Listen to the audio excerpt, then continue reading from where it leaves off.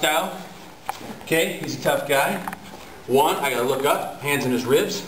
He feels that. Two, I push to open his guard up. Boom. Three, come in low. Boom.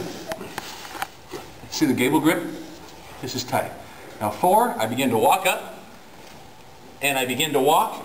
Put your hand here if you'd like. Side mount.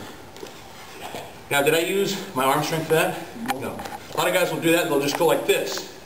It's my weight. And my walk. Am I walking around in a circle? And I'm putting my weight on. How'd that feel, Taylor? Uncomfortable. Once again, I don't want, I don't want to do too much. Here we go.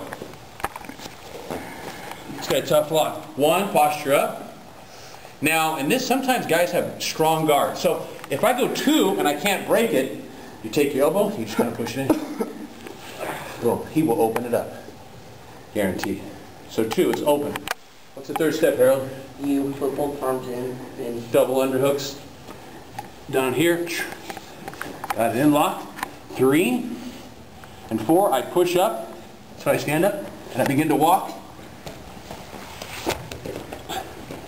Side. Simple. Thank you. Yes, sir.